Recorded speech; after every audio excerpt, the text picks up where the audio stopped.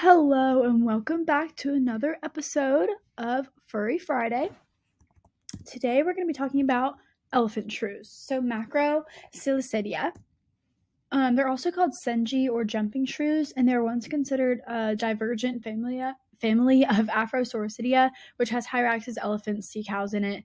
Um, and there are 19 recognized species of ele- elephant shrews. And if you look at this picture down here, you'll see, um, unlike authentic shrews. Um, they're not very, not super closely related. Um, they're also not venomous like other shrews are, like authentic shrews. Um, so speaking about their natural history, um, they form monogamous pairs that limit live in a common territory. Um, and they aren't often like together during this time, like when they're in these territories, but they do keep track of each other through um, scent markings they are completely intolerant of close neighbors, so they will aggressively like kick out anybody that comes into their territory. This involves screaming, sparring, snapping, and kicking.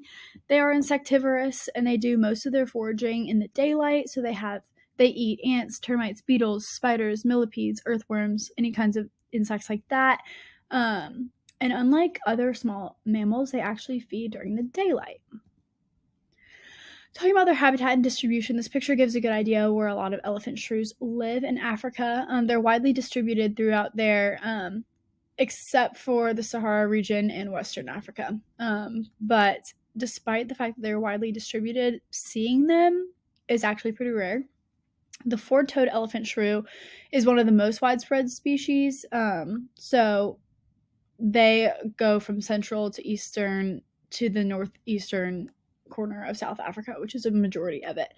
Um, they also live in forest canopy, like woodlands, thickets. Um, usually, the floor that they are in is densely covered by like leaves. So, speaking about their morphology, they're highly adapted for leaping. So, their hind limbs, if you look at this picture, are much longer than their forelimbs. They have a long, tapered, flexible snout, also called a proboscis, which is what elephants have, giving them the name.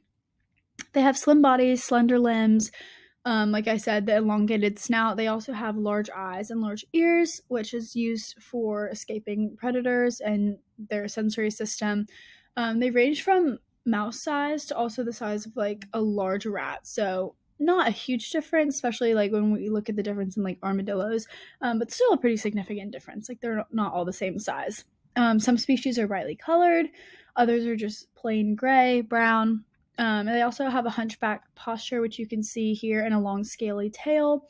And there's actually a gland on the underside of their tails that produces the scent that marks their territory. So, like I was saying, how the um, monogamous pair keep track of each other using scent markings, that gland produces that scent.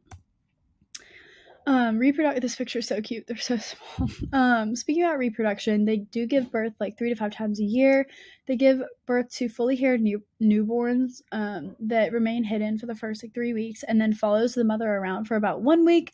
And then after they're weaned and they become independent, the offspring usually are in the parents' like territory, like we've been talking about, um, for another six weeks, and then they go out on their own. Um, but they're precocial at birth, and the litter size is usually like one to two young, so it's not a lot. Um, but their gestation is about two months, which is in line with um, them being smaller mammals. Some fun facts about them they can only live up to two years in the wild. Again, that's in line with smaller animals, they don't live as long. They can leap up to three feet in the air and they can run up to 18 miles per hour just to escape predators. Um, they use their noses and paws to clear pathways on the ground and lure insects in. So, like the long little proboscis nose.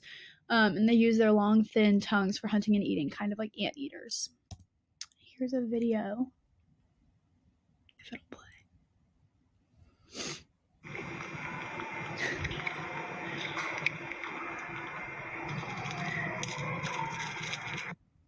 So that gives a good idea of how they like use their nose like a little thing to dig and find insects. Um, and then here are my sources.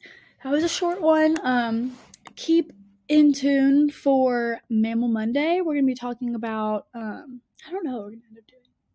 It'll be something interesting.